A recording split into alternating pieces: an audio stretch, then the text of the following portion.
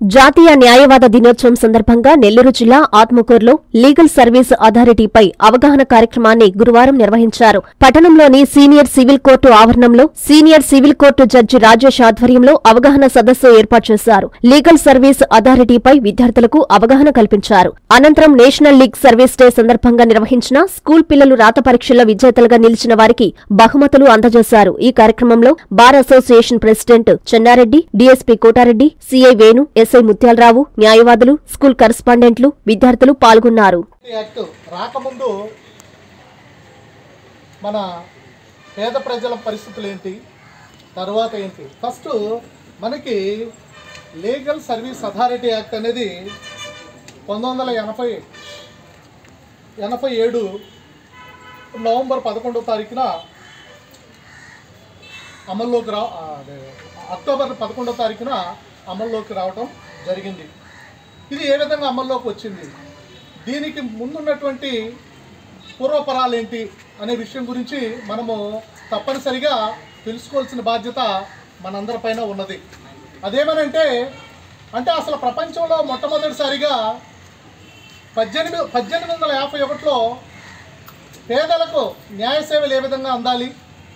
వారికి న్యాయ సహాయం ఏ విధంగా ఇవ్వాలి అనే భావన మొట్టమొదటిసారిగా ప్రపంచంలో పద్దెనిమిది వందల యాభై ఒకటిలో ఫ్రాన్స్ దేశంలో మొట్టమొదటిసారిగా రావటం అనేది జరిగిందనమాట ఆ తర్వాత పేద ప్రజలకు సంబంధించి కొన్ని విషయాలు ఈ చట్టపరమైనటువంటి సహాయాలు అందించాలనే ఉద్దేశంతో ఆ చట్టాన్ని తీసుకురావడం జరిగింది అక్కడ.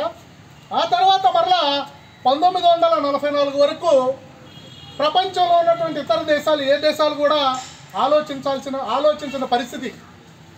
అటువంటి క్రమంలో బ్రిటన్ దేశంలో మొట్టమొదటిసారిగా మనకు లార్డ్ సైమన్ అనే అతను ఈ పేద ప్రజలకు పంతొమ్మిది వందల నలభై నాలుగులో పేద ప్రజలకు న్యాయం అందించాలా?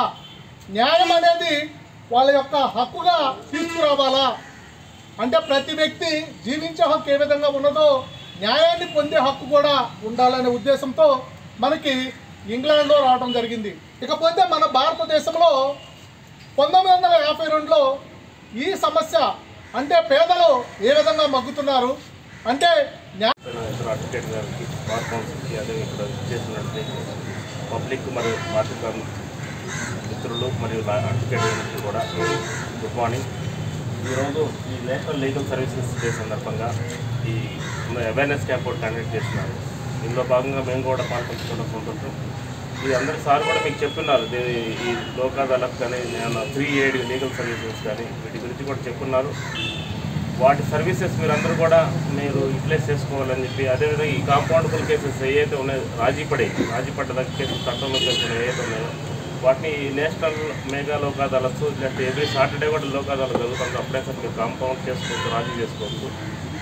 అవి కూడా రాజీ అయ్యే కేసులు అంటే చిన్న చిన్న డిస్ప్యూట్స్ ఉంటాయి ఊళ్ళో మనస్పర్ధలతో పెట్టుకున్న కేసులు కొన్ని ఇటువంటివి ఉంటాయి. వాటికి సంబంధించి మీరు రాజీ పడి ఊళ్ళో చిన్న వాటిని పెద్దవి చేసుకోకుండా అక్కడే పరిష్కారం చేసుకొని వాటిని ఆల్రెడీ కేసులు నమ్మవుతాయంటే ఇక్కడికి వచ్చి మన కోర్టులో కూడా రాజీ చేసుకోవచ్చు వాటిని days together years months together years together కాకుండా వాటిని త్వరగా పరిష్కరించిన మార్గం ఉంటుంది. అటువంటి అవకాశాలు వీటన్నిటిలో కల్పించినప్పుడు మీరు వాటిని సద్వినియోగపరచుకోవాలని చెప్పేసి అందరూ కూడా తెలియజేస్తాం ఈ దినోత్సవం జరుపుకోవడం జరుగుతూ ఉంది దీని మెయిన్ కాన్సెప్ట్ ఏంటంటే ఏదైనా కానీ మీకు న్యాయ సలహాలు కావాలన్నా కానీ న్యాయ న్యాయ వ్యవస్థ నుంచి సర్వీస్ కావాలన్నా కానీ కొంతమందికి ఈ భారతదేశంలో అంతర్ద్రాక్షలాగా కొంతమంది ప్రజలకు పూర్తి స్థాయిలో అందుబాటులో లేకుండా పోతుంది అనేది ఒక కాన్సెప్ట్.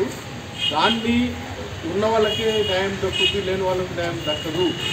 లేకుంటే అన్యాయం అన్యాయం జరిగే వాళ్ళకు దక్కదు అనే దాని మీద ఈ న్యాయ వ్యవస్థ పూర్తిగా ఆలోచించి ఈరోజు ఎందుకు జరుపుకుంటున్నాం అంటే సర్వీసెస్ అందరికి ప్రజలకు ప్రతి పౌరుడికి న్యాయం దక్కేలాగా అందరూ అడ్వకేట్లు పెట్టి డబ్బులు పెట్టి చేసుకోలేరు కాబట్టి ప్రతి వాళ్ళకు హక్కు కల్పించడం జరిగింది.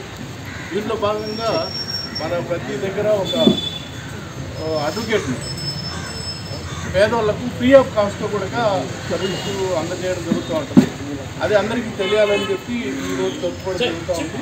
దీని మెయిన్ ఉద్దేశం న్యాయం అందరికీ సమానం అందరికీ న్యాయం. ప్రతి గ్రాస్ రూట్లో ఉండే వాళ్ళకు పేద ధనిక అనే భేదం లేకుండా పేదవాళ్ళకు కూడా పూర్తి స్థాయిలో న్యాయ వ్యవస్థను అందుబాటులోకి తీసుకునే దానికోసము ఏర్పాటు చేసి ఈ రోజుగా ఈ రోజుగా పరిగణించి చేయడం జరుగుతోంది కాబట్టి ఈ న్యాయ వ్యవస్థ అందించే ఈ సేవలు ప్రజలందరూ తెలుసుకొని అందరూ దాన్ని ఆ, హక్కుగా భావించి ఆ సర్వీసెస్ పొందాలన్న ఉద్దేశం మెయిన్ కాన్సెప్ట్ ఉంది కాబట్టి అది మీరందరికీ అవగాహన అందరికీ ఇప్పుడు వచ్చిన వాళ్ళకే కాకుండా మిగతా అందరికీ కూడా తెలియాలి.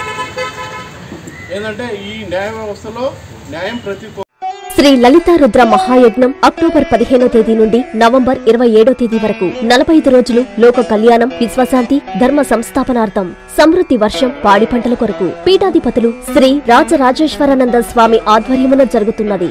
సకల శుభాలు కలిగించే ఈ లలితారుద్ర మహాయజ్ఞములో పాల్గొని ఆయురారోగ్యం ఉన్నత చదువులు ఉద్యోగం పదవులు నవగ్రహ దోష నివారణ సకల సంకల్ప కార్యసిద్ధి వ్యాపారాభివృద్ధి అన్యోన్య దాంపత్యం శత్రు నివారణ వివాహం సంతానం పొందుటకు అందరూ ఉభయదాతలుగా పాల్గొనుటకు సంప్రదించవలసిన cell number nine eight four eight zero double eight nine two five.